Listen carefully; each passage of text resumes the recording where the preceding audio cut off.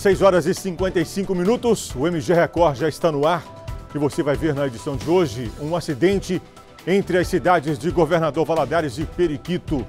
BR-381 fica com trânsito lento. A vítima é um idoso, gente, de 71 anos que perdeu a vida. Ele estava na motocicleta. A Polícia Civil prende integrantes de uma quadrilha que realizava saques de auxílio emergencial usando documentos falsos. Donos de loterias de Governador Valadares chamaram a polícia. A fiscalização do PROCON de Teoflotone nos postos de combustíveis da cidade.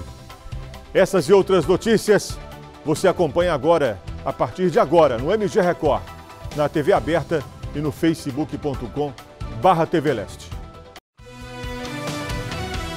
MG Record